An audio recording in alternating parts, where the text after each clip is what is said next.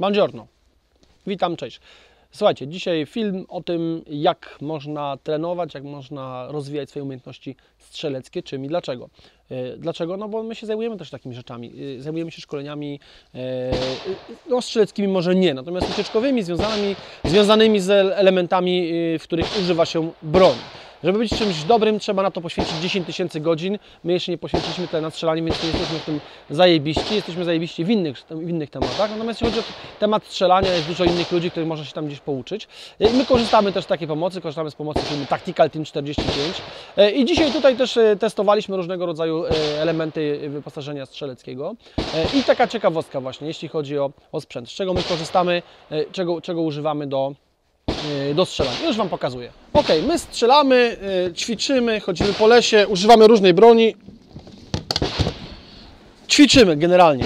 Zajmujemy się szkoleniami, ale też zajmujemy się szkoleniami związanymi z użytkowaniem, no i nie oszukujmy się, noszeniem tej broni, bo taktyka zielona oprócz strzelania polega także na no, noszeniu, nauce dbania i odpowiedniego składania się, przenos- poruszania. To jest trudny element nie? i na przykład przez nasze własne doświadczenia e, wiemy, że broń typu ASG niekoniecznie nadaje się do takich, do takich rzeczy. Oczy, nie żebyśmy marginaliz- marginalizowali przydatność ASG, to się przydaje w niektórych sytuacjach. Natomiast jaki jest problem w wypadku ASG? Widzimy gościa na dystansie powiedzmy 100 metrów i z każdej innej broni on by tam pyk dostał, ten cel by się położył, schował. Natomiast w wypadku ASG, no to ta kulka leci pciu, pciu, pciu, pciu, nie ma baterii, hop-up nie działa, kulki nie podają. Takie elementy, już nie mówię o zniszczeniach mechanicznych, nie? takie elementy są dosyć skomplikowane. Później gościu, który strzela z ASG, przychodzi na strzelnicę, gdzie jest inny odrzut, inne ładowanie troszkę, przeładowanie, to są zupełnie inne ruchy, zupełnie inaczej to pracuje. W związku z tym wtedy to, że ktoś strzela z ASG niekoniecznie jest dobre, że też y, szybko będzie mógł przestawić się na broń ostrą. Dlatego generalnie sami polecamy broń typu Deco. To jest właśnie karabinek Deco, o którym kiedyś tam wcześniej wspominaliśmy. Dostaliśmy go od firmy, firmy sklep Sprzęt Militarny. E, No i tam sobie testujemy, nie? Deco jest o, o tyle ma fajną zaletę, że można go posiadać normalnie w domu. E, Po zakupie trzeba tam to zarejestrować. E, Kosztuje tyle samo co dobry karabinek ASG, natomiast jest niezniszczalny, e, zajebisty, świetny i, i przede wszystkim wykonany tak samo jak oryginalna broń. Tu mam deko. Zobaczcie. Tu mamy deko, a tu mamy oryginał. E, Różnią się drobnymi e, elementami, tutaj widać tłumik płomienia troszkę inny, natomiast to jest karabinek Tantal, wzór 88, tak, tak, dokładnie. I generalnie to jest ta sama broń. Ten deko karabinek to jest po prostu dezaktywowany karabinek, czyli nie można z niego strzelić. Zaraz Wam pokażę dlaczego. Nie? Natomiast w procesie szkoleniowym, łażeniu po lesie, e, robieniu jakichś innych rzeczy, gdzie nie strzelamy, można używać właśnie takiej broni e, dlatego że to ona działa tak samo identycznie. W momencie, kiedy przejeżdżamy na strzelnicę, przesiadamy się na coś takiego i wtedy strzelamy, tam manual jest taki sam, identyczny, wszystko pracuje tak samo i to jest największa zaleta. Przesiadanie się z innego rodzaju rzeczy nie do końca, czyli ćwiczę na czymś, przesiadam się na coś innego. Oczywiście, ćwiczmy w ogóle cały czas coś róbmy, natomiast docelowo to jest najfajniejsza sprawa. Nie? My przesiedliśmy się właśnie z ASG, z gumikałachów, z różnych innych rzeczy i deko, to przypominam, że kosztuje zbliżone pieniądze do dobrego karabinka. Nie? Jest świetne. Dlaczego nie można strzelić z karabinka zdekowanego? Przede wszystkim dlatego, że został on właśnie zdezaktywowany. Czyli mamy, nie mamy iglicy, to jest pierwszy element. Druga sprawa, widać e, komorę e, nabojową, która jest zaspawana, czyli w tym momencie do tego lufa nasza nie wejdzie. Ja Wam pokażę teraz oryginał. Lufa, przepraszam, nabój.